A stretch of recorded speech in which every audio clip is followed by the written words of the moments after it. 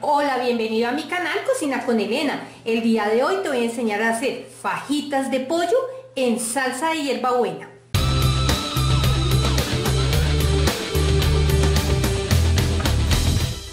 Los ingredientes son media pechuga de pollo sin piel y sin hueso, una cucharada de pasta de ajo y una cucharada de pasta de cebolla, tres cucharadas de aceite, una cucharada de mostaza, sal y pimienta al gusto.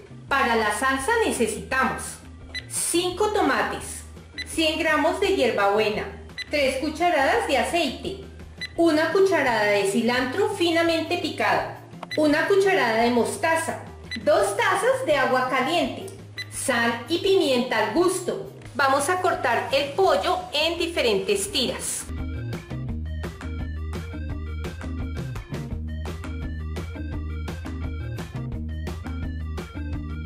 Vamos a salpimentar.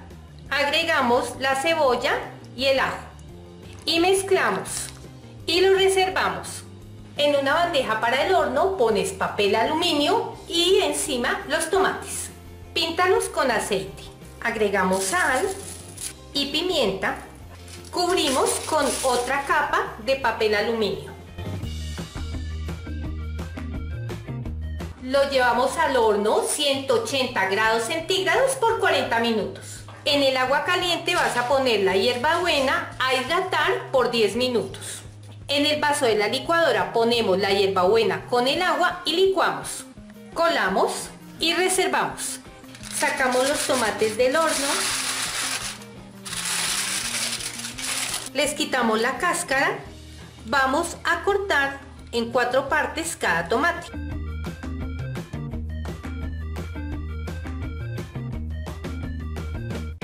Los ponemos en el vaso de la licuadora y agregamos el cilantro y la mostaza y lo licuamos y colamos. Ponemos esa salsa en la licuadora, agregamos el agua con la hierbabuena y volvemos a licuar. Ponemos a calentar el aceite y sofreímos el pollo.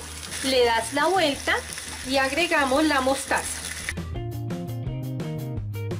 Agregamos la salsa